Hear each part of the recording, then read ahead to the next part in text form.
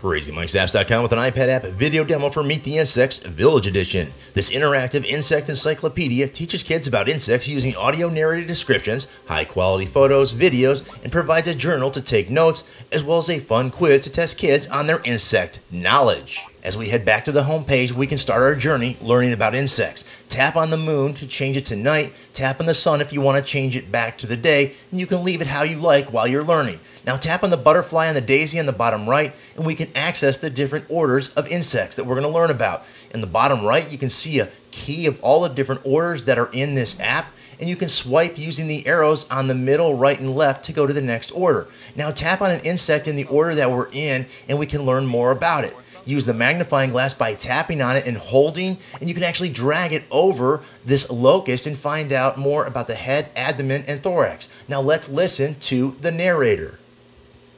One of the best jumpers of all animals on Earth. So there's lots of narration in this application. There are also videos like this that are in all of the different orders. There's photos as well. You can take screenshots if you want and put them in your photo library. Now you can go through here. Also, there is a navigation menu at the bottom. The insect story is a basic story about insects in the village. Now let's listen to this. Which animal has the widest variety of species on Earth? Insects. Insects are the most diverse group of animals on Earth. So you can see the insect story top takes you through a variety of parts of the insect's life, different insects and what they do. That's the whole point of this app. You can mute the narration and you can just look at the graphics. You can also tap on that arrow again and you can go into your observation journal. In your observation journal, you can see your notes that you've taken. I took a quick note. It, it, it, lets you add a picture. You can add some notes. And to do a note, it's very easy. Just tap on write and you can go ahead and fill in the information.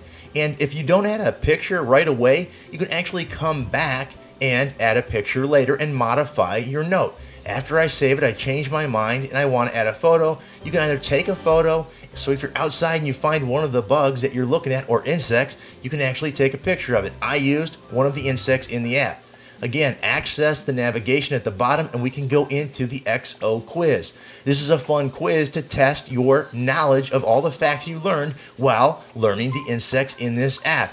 You'll get questions and they'll ask you. They're not too difficult, so young kids or elementary school kids will be able to get them. Some of the answers are right in the different pictures. You got to study them. Now, again, go through here and you can take that quiz over and over. Now, the multimedia are all the different photos and videos that are contained inside the application. There's a bunch of videos. Here's a fly.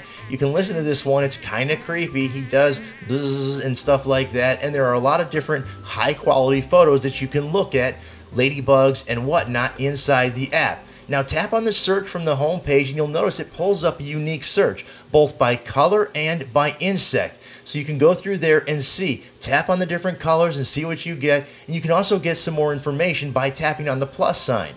That's it for this iPad app video demo. Until next time, Crazy Mike from Crazy Mike's Apps saying see ya.